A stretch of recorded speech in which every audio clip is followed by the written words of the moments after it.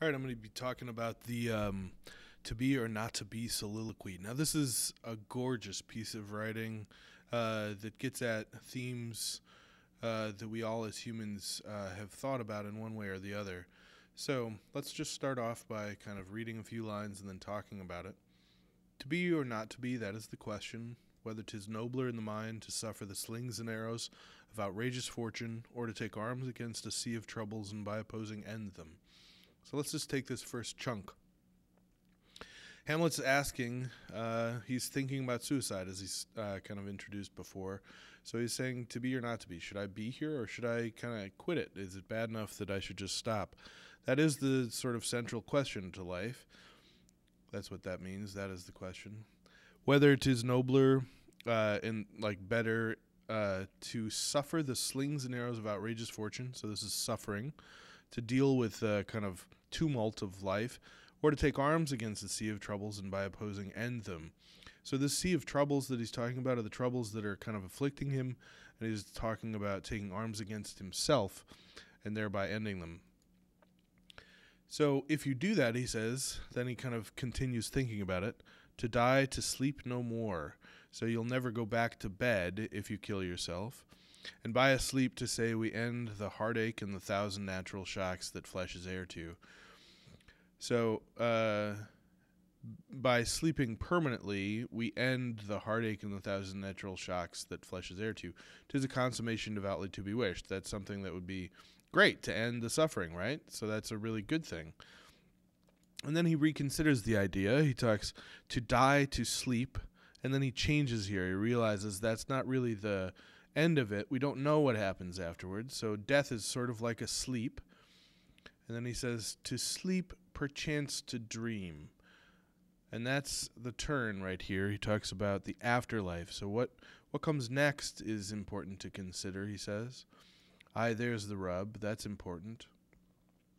For in that sleep of death, what dreams may come when we have shuffled off this mortal coil must give us pause.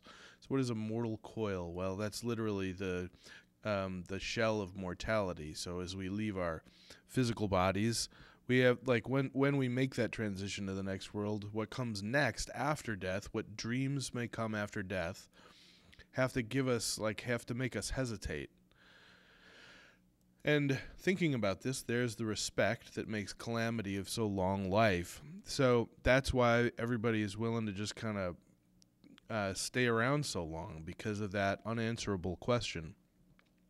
And then he kind of goes into expands upon that idea. So, for who would f- bear the whips and scorns of time, the oppressor's wrong? So he's talking here about all of the things that kind of are difficult in life, and saying why would anybody tolerate this stuff? And so he says, uh, For who would bear all this stuff but that the dread of something after death, the undiscovered country, the afterlife, from whose bourne no traveler returns, puzzles the will. So who would bear all this suffering except for the fact that the dread they dread something after death. Uh, and it confuses or puzzles the will. It makes us uh, hesitate and makes us rather bear those ills, deal with what uh, you know this our our current situation, than fly to others that we know not of. So he's like, better the you know the demon that you know than the the demon that you don't. Thus, conscience or thinking does make cowards of us all. So it makes us the our ability to consider these possibilities makes us hesitate and makes us cowards. and thus he says the native hue of resolution so our ability to be resolved in our actions that ability is made sick or pale uh, sickly uh, it's kind of you know made into a sickly form rather than some sort of stern resolution with the pale cast of thought. So the thought casts kind of a pale light over our ability to resolve ourselves towards action.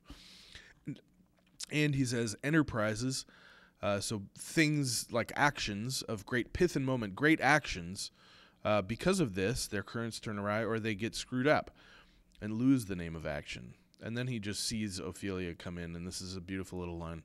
You know, soft you now, the fair Ophelia, nymph in thy orisons, uh, in thy prayers. So she seems to be praying, I believe. be all my sins remembered. So he's considered the afterlife, and he ends by thinking about the love of his life, who's praying and uh, nymph-like, and he says that she will be all of his sin- sins remembered. So to some extent, it's like he may be worried that some of the things he has done with Ophelia might affect his position in the afterlife. Anyway, so that's um, a little explanation of what's going on in the to be or not to be soliloquy.